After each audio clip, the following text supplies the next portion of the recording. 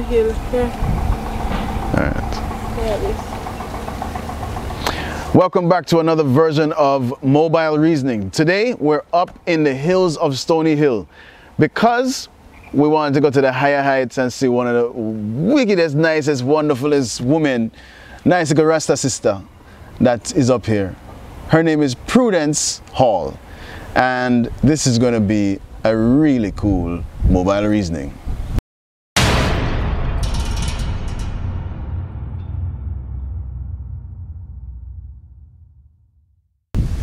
Prudence, Hi, Charles. how are you? I am great. I know you don't go by Prudence, you know, but, as I say it because nobody calls you Prudence. I know, right? All right, so Prue, listen, I want you to relax, you know, because this is just chilling. We just we just having a good time. Okay. All right, so y- you know why we're here? We're here because I saw you doing an amazing thing, and I wanted to come talk to you about it. But mm-hmm. we're not getting into that yet. Let's talk about you. Where are you from? Well, originally, I'm from St. Andrew, Okay. Stony Hills area, Okay. close to where we are now. Okay. And your schools that you went to? Um, I'm a Wolmerian, and then I went to the University of the West Indies and also to University of East London. Okay. Did you go? Were you in London, or did was it a remote? I was in? London. Okay, good.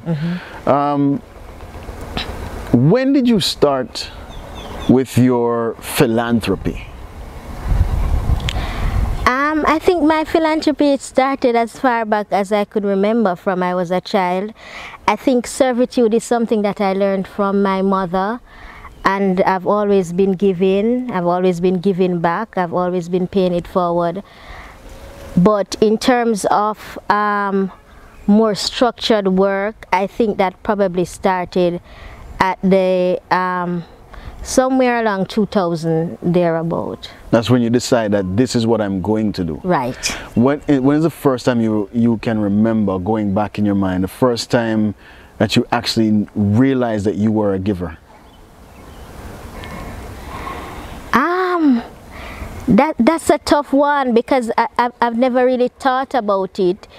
It has just been kind of sort of second nature, so I've not I've never really thought about it. But I think something that stands out in my mind, and it's particularly because um, my friend always remind me of it was that when I when I gave him my books and my backpack and that was at university during the time of my my first degree so that was around um, 2003 2004 You gave him your books and your backpack. yes I did Him did like you, so him did want to carry your Um, books. I don't like think the old, Like the old time days, him did carry your books to class. Not necessarily. he was my lab partner, Mm-hmm. and he was. I, I I saw that he was less fortunate, so I kind of like shared everything with him. Okay. Right, okay. yeah. Oh wow. Yeah. That's that.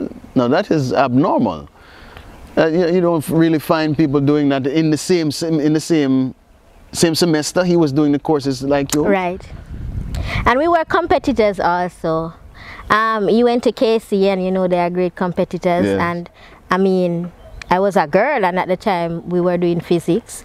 And you know, I used to beat them, and they were, would be pretty upset um, about that. So um, yes, um, I, I wouldn't say it is abnormal because a lot of Jamaicans give. Um, I think that we just don't um, publicize and we don't we don't um, talk about it. But more of us could could get into giving though. If if when you say more of us can get into giving, what what what what is your goal? You want to be a role model to uh, let people see that this is what they should do. Exactly, exactly. I think I think it is important for us to share. Um, it was Maya Angelou. I love this quote from Maya Angelou that says, "When you get, give, and when you learn, teach." And that kind of sort of has been um, a part of, implicitly a part of, of, of my mantra. Um, to just to just give because I have. Yeah.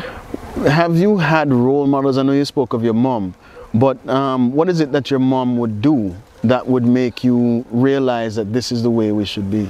Well, my mo- my mother was kind of sort of the community nurse. She was a nurse, but she was there for everybody.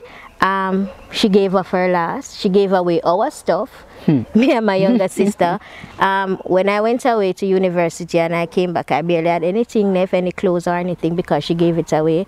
Um, when she cooked, it was never just for us. It was for everybody. Um, everybody came to our house for meals, and um, it, because I saw that, it was just kind of sort of this is who I should be. This is what I should I should do. Now, eh, I've had a few conversations recently with Jamaicans, um, especially from the country, that says that this is the parenting that they came up in, um, where their parents always made sure that whomever came around had something. So they would leave with something, whether it be grown provision or it would be, like you say, clothes or whatever, they would leave with something. Eh, Would you say that that is a Jamaican norm? I think so. I think so. Um, I am not sure if it is becoming less of a thing now because I see, from what I've heard and from what you just said, I think um, I hear on a daily basis that that is how it was normally. Um, no, and I think that's that that has been part of why I want to influence and inspire other persons to give. It's because I think that that people have kind of sort of Jamaicans have kind of sort of become selfish. Okay. And I see it. I see people see people in need and they turn a blind eye. They walk on the street and they see somebody probably just homeless because of various situations and they turn a blind eye. So um, I wouldn't say it it is a norm. Um, I'm not so keen on saying it is a norm. But no. it's definitely something that you want to grow back. right. Okay. Uh, how how are you impacting with your giving? Um, my impact is small sometimes, sometimes it is large. I I serve my focus is on children and youth. Okay. Um, I love I love kids. Um, my work surrounds um, a pediatric population. I love children, so um, my focus is on the the homes, especially the girls' home. I mostly serve girls' home, um, and also the co-ed institution, um, SOS Children Village. So my focus is on them. I try to um, I mentor students there.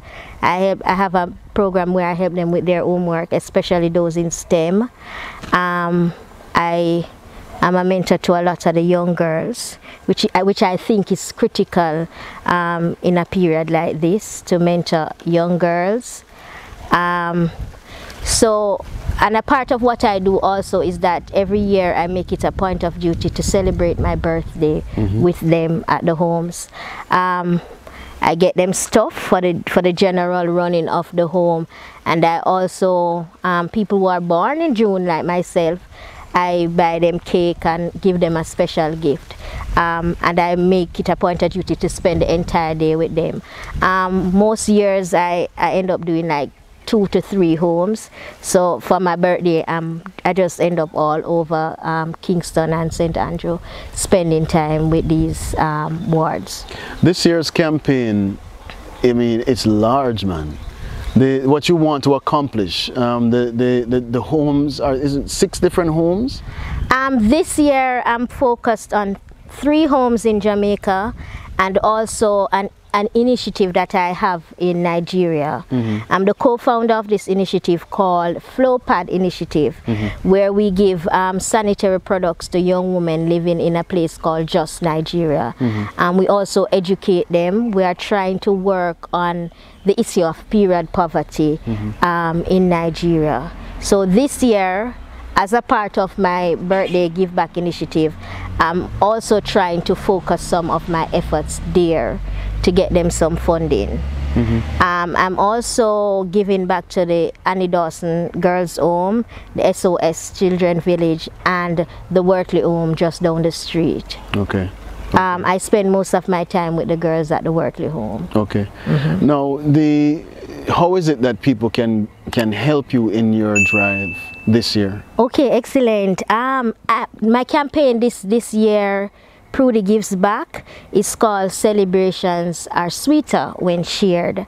I have launched a, um, a campaign on Go, GoFundMe mm -hmm. where people can donate um, to the PayPal account that is attached to it.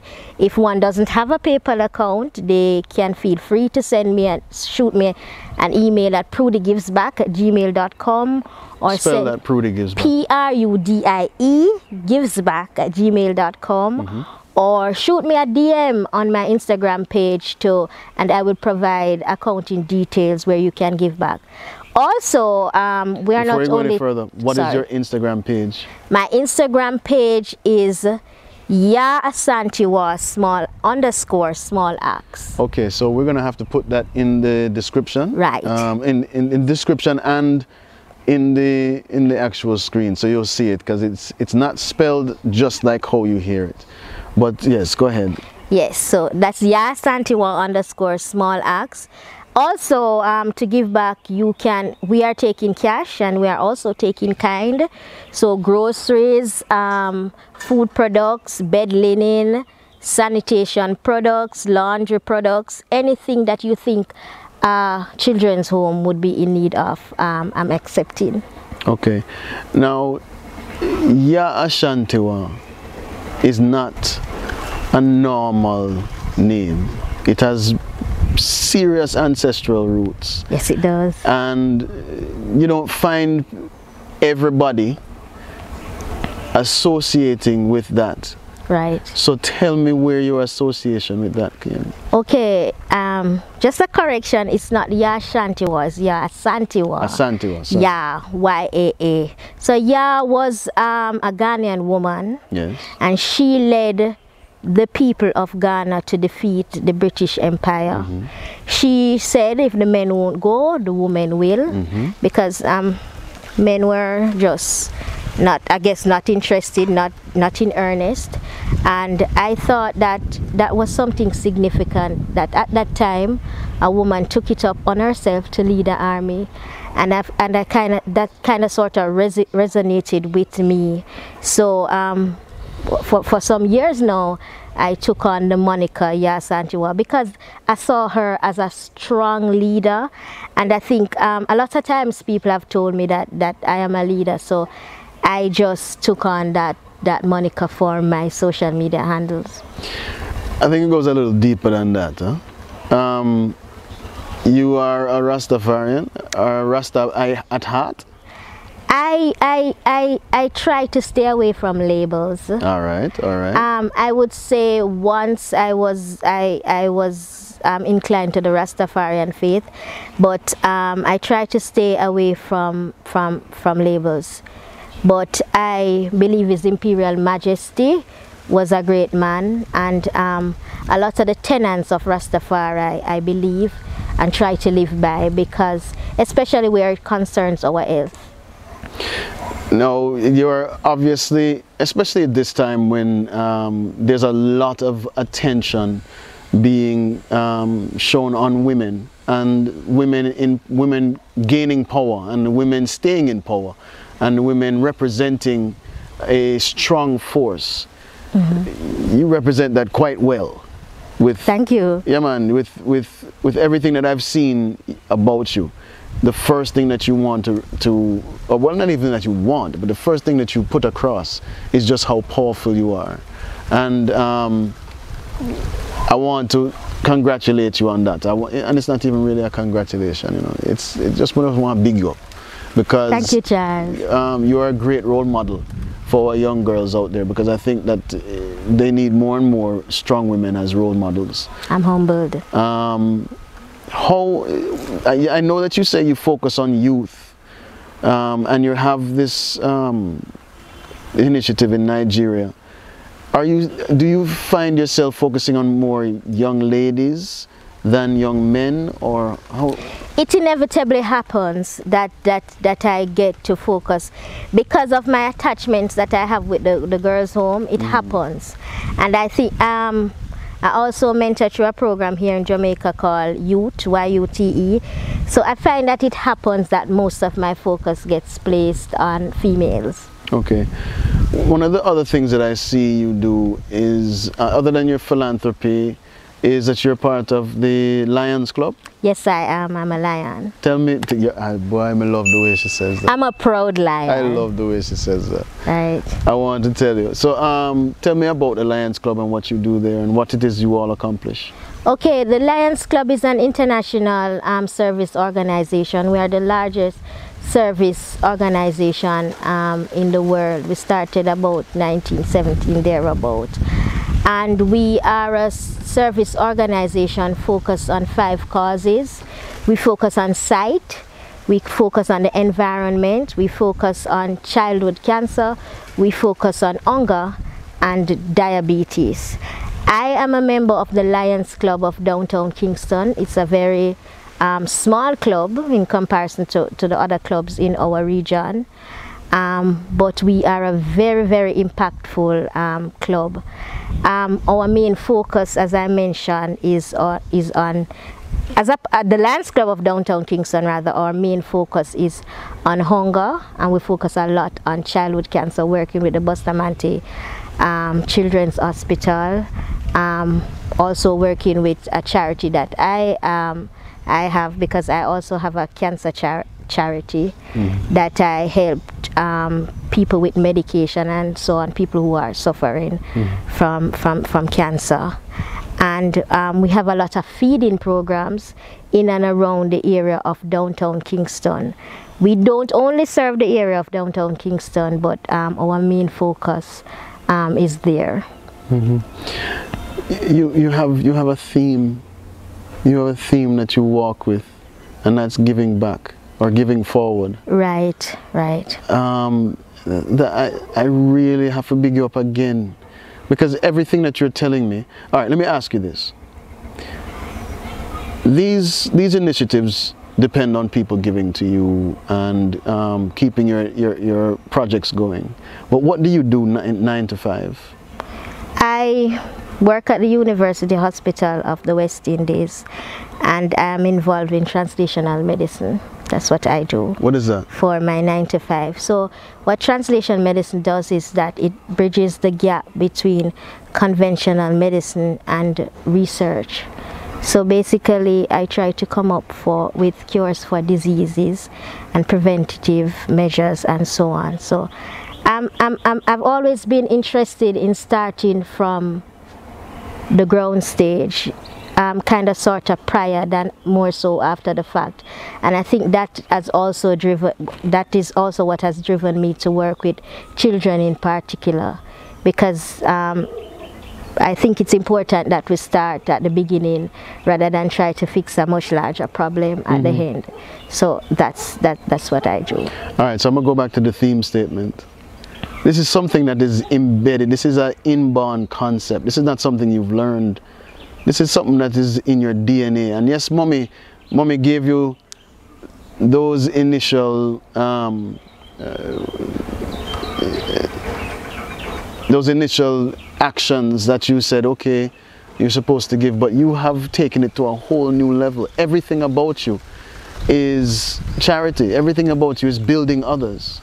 most most of it i would say i think it is that it's important that we find what our purpose is and it's not impo- only important to find what our purpose is but to live out that purpose and um, for a large amount of my life I, I spent trying to see what was the rationale for me here and i think the rationale for me here is to is to is to help other people um, to be selfless um, in all of my pursuits. Um, Marcus Garvey is my forever hero. Um, he's my favorite person, and um, he, he, he, he, he- spoke to us about being selfless, you know, about sharing with others, about um, working with other people and I think I kind of sort of I feed off those. I read a lot of Marcus Garvey um, books, and um, when I was nine years old, I passed my common entrance, and my mother gave me this book called Marcus Garvey Said, and that was the book that um, changed my life actually. And I think that was a profound um, time in my life when I decided that you know, I'm going to be there for, for, for, for black people like Marcus um, was. Hmm. Yeah. Oh, that's profound, and you've you've lived that till today. I try. When you, I mean, everybody, nobody's perfect, right? Everybody has a little slip and this, that, and the other. And what do you do for fun? Um, I hike. Hmm. I love to hike. I hike and I chase waterfalls. I love to go to the river. Um, I love reggae concerts, which are non-existent now in in this um, COVID period. Um, yes, that's what I do for fun. What's the last waterfall you went to? Um, I think the last waterfall I went to may have been. I think it may have been Cascade, Portland. Right. Ca- so it's called Cascade Falls. Yes. What part of Portland is that? Um, that's outside of the Buff Bay region. Okay. Right. Okay. Portland is my favorite parish actually Why is that? because it's just picturesque. It's beautiful. The rivers, the beaches, um, the waterfalls. Um, I'm a nature outdoorsy person. You couldn't be anything else, you know. you, could, you couldn't be anything else. Anyway, Prudo, and I call you Prudo. Um, thank you so much for sitting with us. Really appreciate what you do. Um, we're going to try to get this out to as many people, as possible so that they can help you. Um, give me again the information that so that they can reach you. Thank you so much for sitting with me today, Charles. So my campaign is called Celebrations Are Sweeter When Shared. You can find me on Instagram at Yaa Asantewaa underscore small axe. And to get in contact with me, you can email me at prudie, P-R-U-D-I-E, givesback at gmail.com or just shoot me a DM um, via my Instagram profile. It's open and free. Um, and I encourage you and I'm asking you to support this initiative and to help me to help them. Oh, I love it. That, that could be a commercial all by itself. all right, Prudo, thank you again. Um, keep up the good work. We're going to do what we can to get you as much help as possible. Thank you, Charles. And um, we'll be here for you. those who cannot speak. If you shine a little light, give sight to the ones who've lost their way. There's a place for people like you. I've heard up there the streets are made of gold.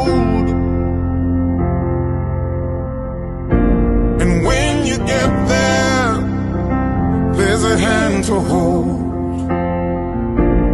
I believe when your days down here are through, there's a place up there for people like you.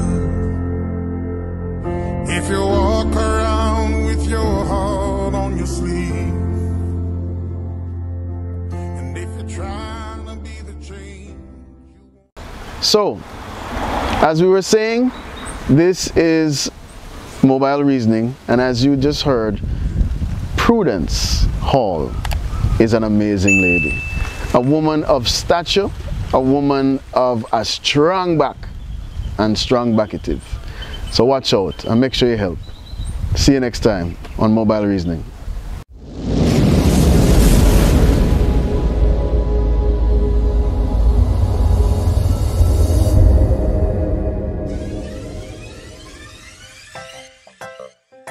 For checking us out on Good News Jamaica TV for content that informs, inspires, and transforms. Please like, share, leave a comment, subscribe, and hit the notification bell for more positive Jamaica content. Walk good,